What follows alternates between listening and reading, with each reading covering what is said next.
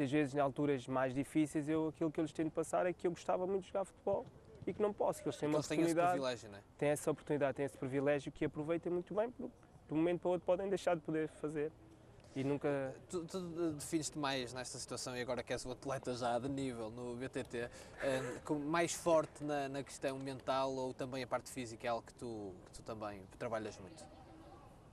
A parte física é importante, porque tem que acompanhar, não é? mas se tu estiveres forte mentalmente, muito forte mentalmente, a parte consegues esconder muita coisa na parte física.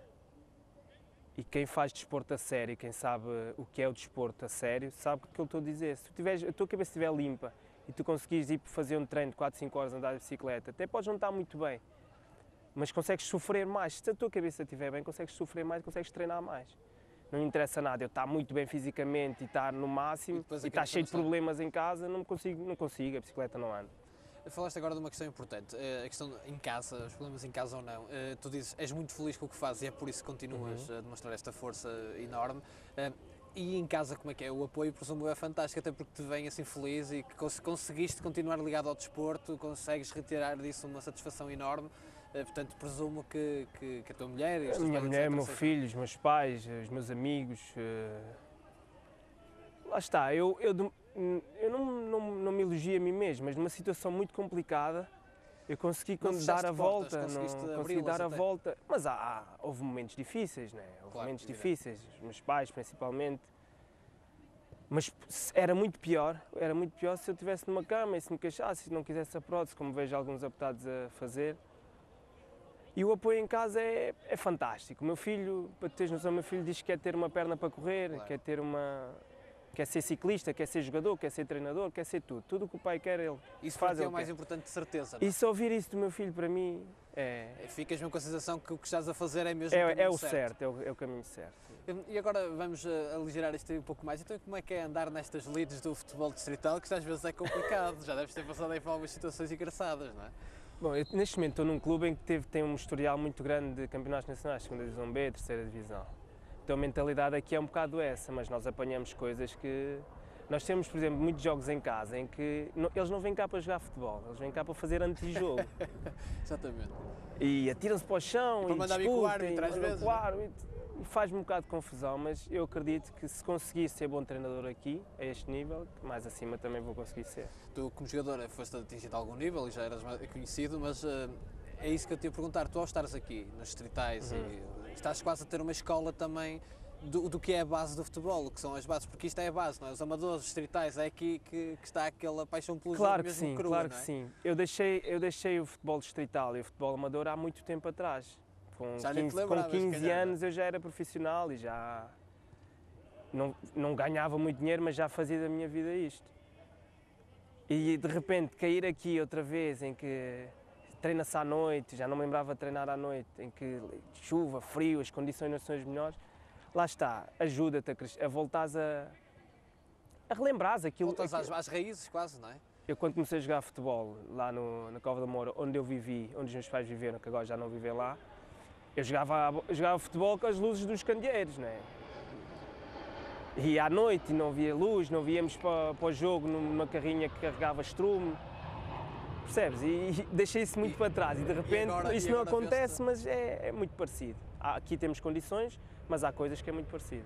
Ora bem, eu só dizer lá em casa, ouvimos um avião, porque estamos aqui mesmo ao lado do aeroporto e eles vão passando, mas eh, até é uma metáfora engraçada porque o Sandro que, tem, o que mais tem feito é levantar voo de várias Sim, maneiras sim, sim. eh, e por isso até acaba por ser um pormenor engraçado. Ainda, ainda nisto do futebol distrital, hum, e é verdade, realmente aqui em Portugal eh, vive-se muito também o futebol distrital, é engraçado que Sim, clubes sim, sim, muitos sim, adeptos sim, sim, eh, e é gente muito apaixonada. E o que eu te perguntava é, é também bom para ti porque, eh, e eu próprio com brincadeira também vou jogando em clubes amadores, etc. É onde há mais amor ao futebol, porque no fundo as pessoas não recebem, às vezes até pagam para jogar e como tu disseste, Tem que é à haver. chuva, é ao frio, isto Tem é que haver, futebol puro, tem que é? haver. Isto é o futebol, porquê? Porque toda, todos os meus jogadores que estão ali, todos eles trabalham.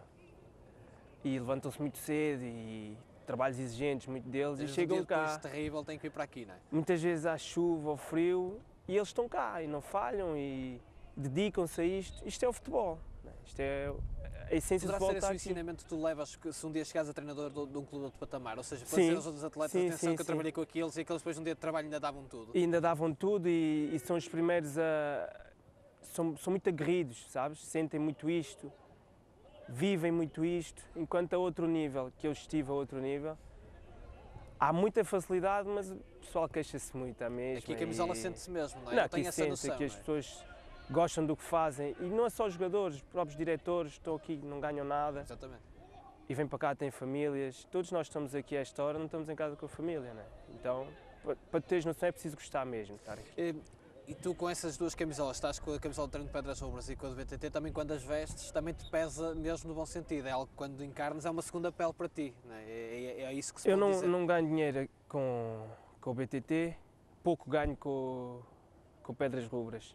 É amor, é vontade, é, é dedicação, dedicação, muito trabalho, muito trabalho. E tu tens certeza que estás a fazer as coisas bem, que estás a viver o dia a dia de forma forte e convincente, não deixar as dúvidas daquilo que queres. É aquilo que eu digo muitas vezes a eles e digo a mim mesmo: é não deixar dúvidas daquilo que eu quero, E, daqui- e daquilo que podes fazer. daquilo que também. posso fazer. Eh, claro. Quando sais daqui dos treinos e quando aceitaste este desafio, já tinhas estado também no Canidelo, aliás Sim, começa sim, por sim, aí, sim. sais com a noção que contribuis, que tens algo para dar e para oferecer, tendo em conta isto que tens vindo a Eu fazer. tento, tento fazer isso. Tento, tento acabar cada treino e saber que dei o melhor de mim, quer no ciclismo, quer no, no, no futebol. E é isso que eu tento passar para eles, é que não deixem, não deixem de treinar bem hoje a pensar ah, amanhã treino melhor. Porque amanhã pode não acontecer. Exatamente. E, e isso contribui, e essa é a tu- minha, minha contribuição que eu tento passar para eles, é essa. Bem dessa filosofia que tu há pouco referiste, do dia a dia, um dia Sim, de cada dia vez, dia, mas dia- o mas forte, cada forte, dia, não é? dia. Seja a treinar, Seja a treinar, seja a conversar aqui contigo, seja a, a fazer compras, dar o melhor. Nas pequenas coisas nós fazemos grandes coisas. Achas que, isto é uma pergunta, claro, mais complicada, mas que é interessante nisto que estamos a falar, ficaste um ser humano mais completo depois disto? Não é nada complicado para mim falar sobre isso. Eu sou melhor pessoa agora do que há 5 anos, 6 anos atrás. Cresci muito. a valorizar Pequenas as coisas, pequenas coisas para mim têm muito valor. Muito valor mesmo. E, agora, na- na- nesta também, ainda na, na- questão do futebol, tu ainda és aquela pessoa que em casa acompanha os jogos e que gosta de ver tudo. Sim, sim, sim, sim. Houve uma fase que já falámos em que eu. Por isso mesmo, como disseste que ficaste Mas um agora- com o futebol. eu Mas agora sim, agora tu- tento sugar tudo. Tenho, tenho a possibilidade de fazer, eh, de acompanhar treinos do Chelsea, por exemplo, que o Bozinho dá-me esse privilégio. Então eu tento aprender com este, tento aprender com aquele e depois tento aplicar aqui à minha maneira, não é? Claro. Nunca, nunca tento copiar, copiar ninguém, nem andar de bicicleta, nem no futebol. Tento recolher de máxima informação das pessoas e depois, a partir daí, criar o meu próprio estilo e a minha forma de estar. Sandro, eh, estamos mesmo a terminar ainda bem porque está a começar a chover. Eh, e eles procuram-te muito, eh, assim, para te perguntar coisas e pedir conselhos e para te ouvir. Eu estou muito próximo dos jogadores, até porque a maioria deles são mais velhos do que eu. São mais velhos do que eu. Então estou próximo deles, estou próximo deles, sinto muita coisa que eles sentem, sei aquilo que eles estão a sentir, sei o que é jogar futebol. Há bem pouco tempo a jogar futebol, sei o que é a pressão de um jogo, sei o que é a pressão de um treino, sei o que é estar a sofrer num jogo.